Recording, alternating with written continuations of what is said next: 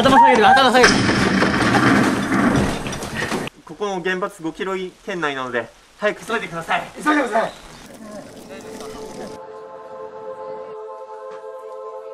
原発の20キロ圏内はもうみんな避難したみたい。なんか問題があったのかな？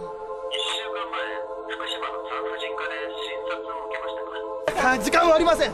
何が何だか分からなくて怖いです。もし子供に問題があったとしても俺たちの子供だ。俺たちが責任を取る言うのは簡単だよな。あチェルノブイリの写真を見たか。あ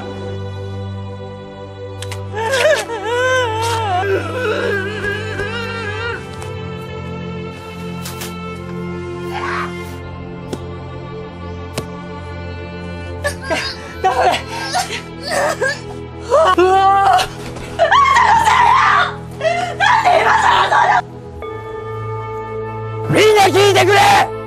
電気を消せ電気を。反応が出てる。全部電気が悪いんだ